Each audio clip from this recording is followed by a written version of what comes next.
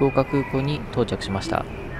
福岡から千歳までの便に乗るんですけれどもその間にラーメンを食べたいなということでこれからラーメンを食べに行こうと思います。福岡空港の保安検査のところですけれどもかなり混み合うことが多いと思いますのでまず食事をする前に事前にですね混み具合どのぐらいあるかチェックしておくといいと思います。あとはちょっと早めにですね時間を余裕を持っていくことをお勧めします。それでは福岡空港のレストラン街の方に到着しました。この通路をまっすぐ行ってすぐ左手の方にこのラーメン店街みたいなところがありますのでそこに行くと数店舗うん8店舗ぐらいですかね多分。大体それぐらいの店舗数のラーメン屋があると思います。その他にももつ鍋だったりとんかつとかうどん洋食屋さんなどですねいろいろありますのでその日の気分で寄ってみるのもいいかと思います。今回食べたラーメンのお店ですけれども本格博多担々麺有吉商店ということでこちらのお店にしました。担々麺が有名なお店のようなんですけれどもここのお店のメニューの看板を見ていると昭和ラーメンという豚骨スープのラーメンがありましたのでそれがなんとなく気になりまして食べてみたいなと思いここにすることにしました。このような感じで昭和ラーメンシンプルな豚骨のラーメンこのシンプルっぽい感じがすごくですね飛行機乗る前に軽く食べれそうでちょうどいいなと思いましてこれを食べたいなということでこれにしました。その下の方に有吉ラーメンとか担々麺の絵も書いてありましてそちらの方も美味しそうです。今回は豚骨ラーメン食べましたけれどもまあ他の機会ありましたら担々麺の方もですね食べてみたいかなと思います。ラーメンですけれども値段は780円でした。店内に食券を購入してそしてお店の中で渡して注文という感じのスタイルです。ちなみにカード、PayPay などの QR コード決済とかそういったものは使えませんでした。以前このフロアの中の別のお店でラーメンのうなりのラーメン食べたんですけれども、そちら行った時には PayPay で購入することもできたので、ここのお店もできるかなと思ってちょっと聞いてみたんですけれども、PayPay は使えませんよということで、現金のみの、えー、券ですね。発見機で購入するのみというふうになっています。ラーメンの雰囲気ですけれども、このようにまろやかな感じの豚骨スープで、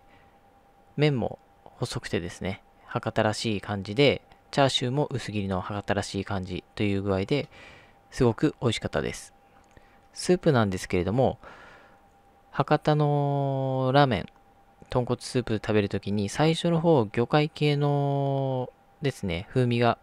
だしの風味が結構しっかりガツンとくるタイプのものもあるなっていうところがあったんですけれども、このお店に関してはどちらかといえばもう直で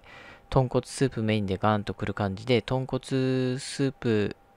のみ使ってるような豚骨野菜スープのみっていう感じの、そういったスープ系のものが好きな方にはすごくいいなと思いました。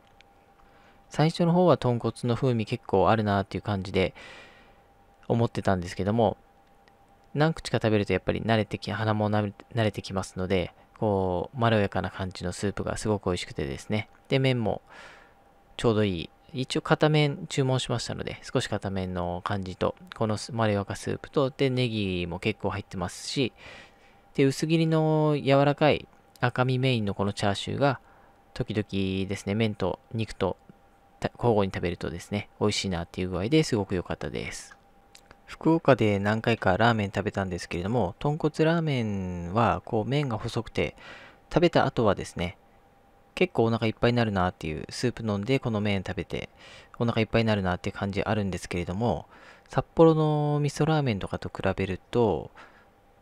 後々やっぱりお腹が空くのが早いなっていう印象あります。麺の分量も少し少ないのか、ちょっとよくわかりませんけれども、まあ細麺だからか、消化がいいのかちょっとわかりませんが、なんかそんな印象あります。ですので、飛行機乗る前に軽くですね、食べたいなという時に、ある程度お腹いっぱいになるんですけれども、後々ですね、あの、お腹結構少なっていう感じもあるので、その次に何か食べたいなっていう時もまだ入ると思います。ですので、次の旅行行く前に、ちょっとですね、軽く食べるのにも、このラーメンいいと思います。今回この辺り歩いていたのはだいたい12時前後、12時過ぎぐらいにお店来たんですけれども、思ったより混んでなくて行列してるところは周りのお店もそれほどありませんでした。一校舎の付近ではどうでしょうかね、10名ぐらい並んでたような気もしますけれども、割とお昼時に、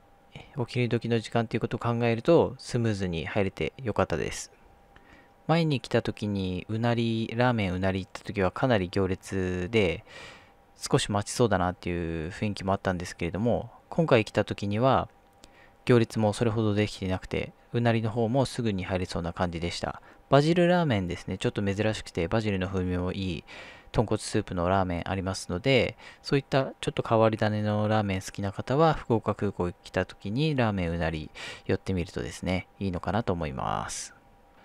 これで福岡空港のラーメンですけれども、この有吉商店とラーメンうなり1校舎3種類ですね、食べてますので、で、今回はなんかクリアラーメンっていうですね、クリア豚骨ラーメンでしたか、それもちょっと気になったので、そっち行こうかなと思ったり、あともう一つの店舗があって、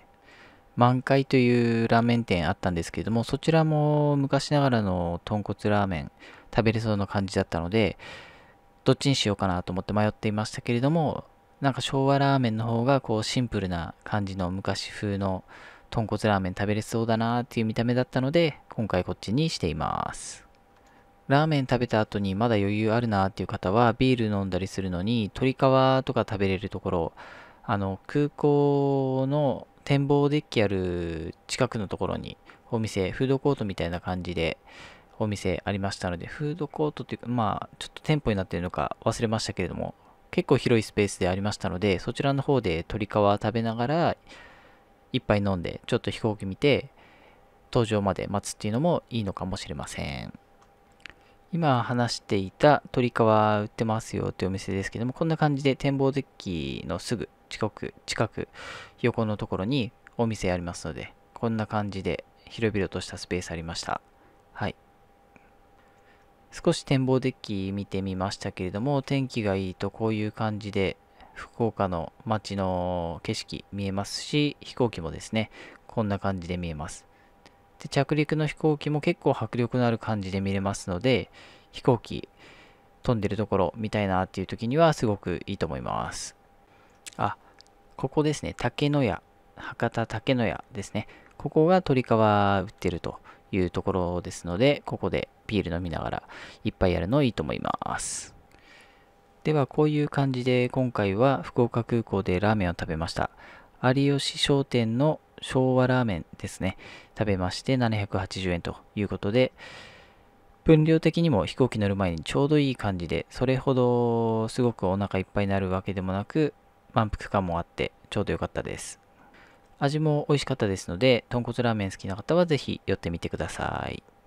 福岡空港は美味しいラーメン店がたくさんありますので、何回か来ていろいろな店舗で食べ比べしてみると楽しめると思います。